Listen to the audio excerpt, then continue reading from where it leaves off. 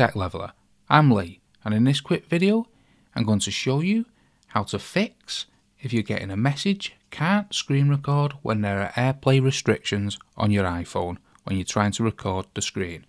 So if you've gone into the settings and then gone into the control center and turned screen record on and then swipe down and then pressed the screen record button and it's not working and you're getting that message that you can't screen record when there are AirPlay restrictions, this means that the, the and controls are on. So you want to go into the settings and then go into screen time. Within screen time, you want to come down and then select content and privacy restrictions. Now within content and privacy restrictions, you want content restrictions here towards the top.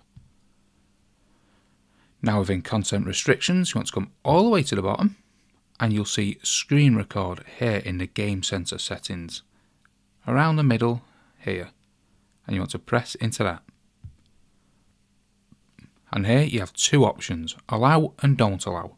If yours is currently set to don't allow that's why you're getting that message and you simply want to toggle on allow.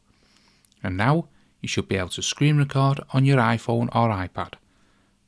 I hope that fixes your problem. If it does, smash the like, smash the subscribe, and most of all, thanks ever so much for watching.